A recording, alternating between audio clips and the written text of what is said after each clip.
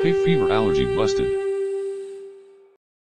Hay fever, also called allergic rhinitis, causes seasonal cold-like signs and symptoms, such as a runny nose, itchy eyes, congestion, sneezing and sinus pressure.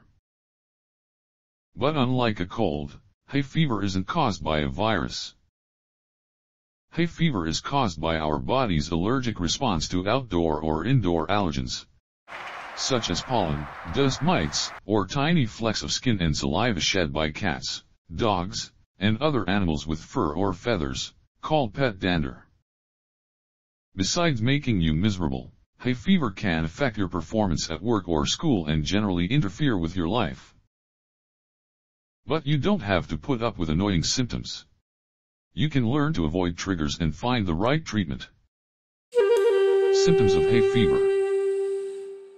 Depending on individuals' health conditions, hay fever signs and symptoms can include runny nose, nasal congestion, watery, itchy, red eyes, allergic conjunctivitis, sneezing, cough, itchy nose, roof of mouth or throat swollen, blue-colored skin under the eyes, allergic shiners, post-nasal drip, and fatigue.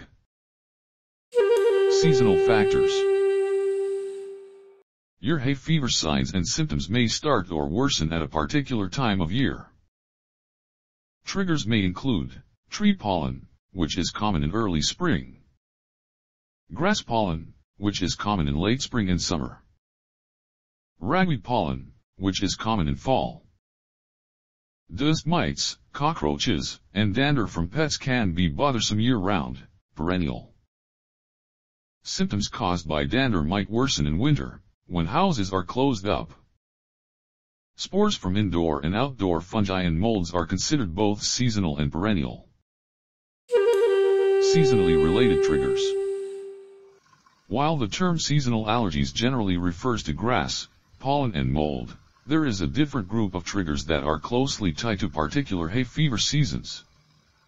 Among them, smoke, campfires in summer, fireplaces in winter, insect bites and stings, usually in spring and summer, chlorine in indoor and outdoor swimming pools, candy ingredients, Halloween, Christmas, Valentine's Day, Easter, pine trees and wreaths, Thanksgiving to Christmas.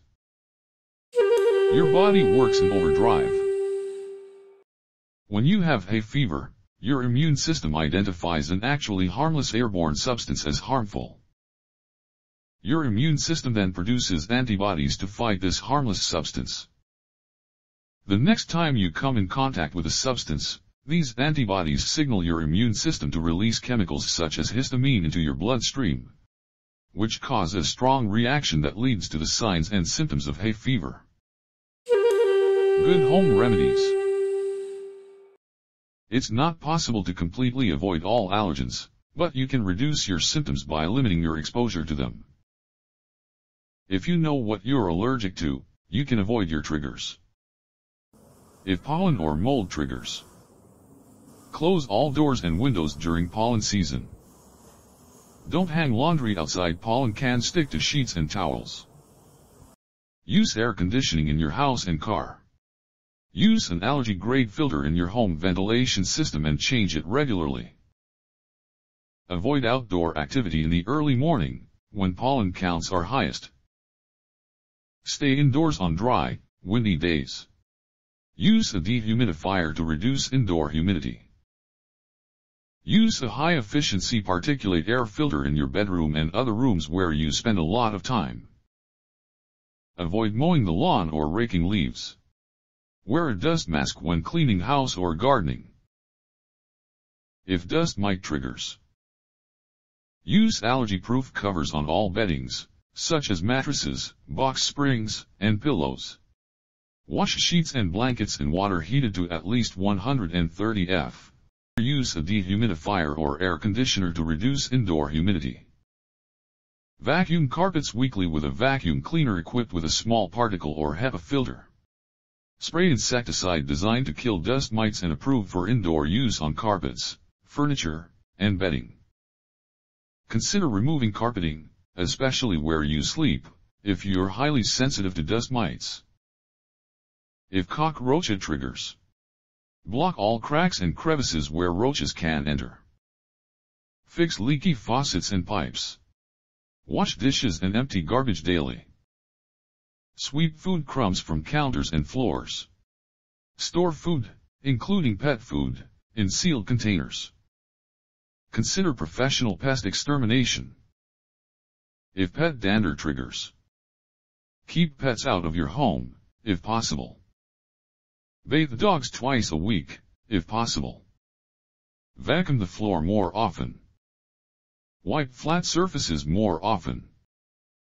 The benefit of bathing cats hasn't been proved. Keep pets out of your bedroom and off furniture. Over-the-counter treatments. Many stores have over-the-counter drugs or tools available for hay fever, such as 1. Antihistamines reduce sneezing, sniffling, and itching by lowering the amount of histamine in your body. 2. Decongestants shrink the blood vessels in the nasal passageways to relieve congestion and swelling. 3. Nasal spray decongestants relieve congestion and may clear clogged nasal passages faster than oral decongestants without some of the side effects. 4. Eye drops relieve itchy, watery eyes. Ketotifen, Zaditor, is available over the counter. 5. Nasal irrigation uses a combination of warm water, about a quarter teaspoon of salt, and a quarter teaspoon of baking soda to clear out mucus and open sinus passages. You can use a squeeze bottle or a neti pot, which looks like a small teapot. Use distilled, sterile, or previously boiled water to make up the solution. It's also important to rinse the irrigation device after each use and leave it open to air dry. Alternative medicine.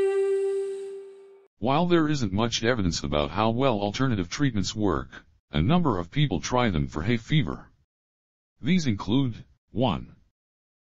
Herbal remedies and supplements. Extracts of the shrub butterbur may help prevent seasonal allergy symptoms. If you try butterbur, be sure to use a product that's labeled PA-free, which indicates that it's had potentially toxic substances removed. There's some limited evidence that spirulina and Tinospora cordifolia also may be effective. Though their benefits are unclear, other herbal remedies for seasonal allergies include capsicum, honey, vitamin C, and fish oil. 2. Acupuncture. Some people claim that acupuncture can help with seasonal allergy symptoms. There's limited evidence that these treatments work, but there's also little evidence of harm. When to see a doctor. There are different severity levels of hay fever. See your doctor if you can find relief from your hay fever symptoms. Allergy medications don't provide relief or cause annoying side effects. You have another condition that can worsen hay fever symptoms, such as nasal polyps, asthma, or frequent sinus infections. Many people especially children get used to hay fever symptoms, so they might not seek treatment until the symptoms become severe. But getting the right medical treatment should offer quick relief. Medical diagnosis. Your doctor will perform a physical examination on you first, take a medical history, and possibly recommend one or both of the following tests. 1. Skin prick test. You're watched for an allergic reaction after small amounts of material that can trigger allergies are pricked into the skin of your arm or upper back. If you're allergic, you develop a raised bump or hive at the site of that allergen. Allergy specialists usually are best equipped to perform allergy skin tests. 2. Allergy blood test. A blood sample is sent to a lab to measure your immune system's response to a specific allergen. Also called the radioallergosorbent test, called RAST, this test measures the amount of allergy-causing antibodies in your bloodstream, known as immunoglobulin E antibodies. The takeaway. The symptoms of seasonal allergies can be uncomfortable, and vary by person. If you suspect you have seasonal allergies and the symptoms are not severe, home remedies can be tried first to relieve the symptoms. If symptoms really affect your life, over-the-counter medicine, alternatives medicines are the next steps. Please always talk with your doctor when more help is needed. They can help diagnose the cause of your symptoms and prescribe a treatment plan. They will likely encourage you to take steps to avoid your allergy triggers. They may also recommend over-the-counter or prescription medications. Health is very important to everyone. Don't let other activities consume all of your time and energy. Proper awareness and attention to early signs of abnormal symptoms are keys to keep us healthy. Early treatment is always more effective than late emergency actions. May you stay healthy and have abundant of happy life. Please like and subscribe this channel for more health related videos. Thank you.